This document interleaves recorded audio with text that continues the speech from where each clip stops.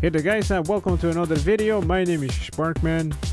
I'm a game developer and today we're working with Unreal Engine 4. Let's launch the um, the launcher. A couple of days ago we created an animated diamond. Today we're going to animate it in Unreal Engine. Now this could take a while to load. Whoa, that was quick. Alright, so I'm going to select that third person no started content. Create project. Waiting for it to load. Sometimes it takes forever. That discovered. Okay, it's finished now. Okay, so here is uh, Unreal Engine 4. And uh, let's uh, import our um, model. Here is the folder. Let's import the model.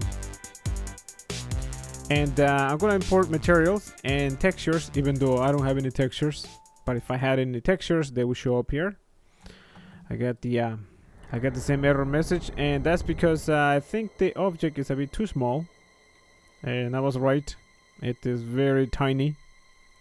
Let's make it bigger. Let's make the object bigger. Around that size. Maybe bigger. Okay that's not too bad there now you notice that this is a uh, static object. Okay, so let's transform this to movable. And we're gonna add a new blueprint for this object. We're gonna make this a uh, scene component. Let's call it uh, Le Crystal.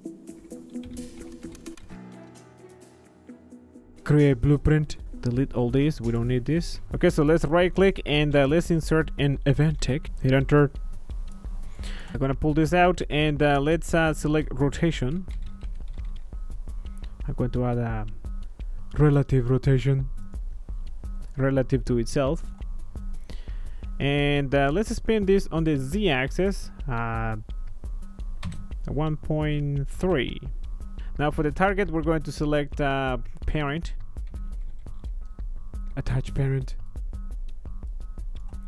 And let's compile this. Close this here and let's try out the level. Here it is. And now you can see that we have a, um, a spinning cube. Wow. It is a big crystal spinning. Kind of reminds me of Crash Bandicoot. Let's see if I can jump on the crystal. Jump on the crystal. Whoa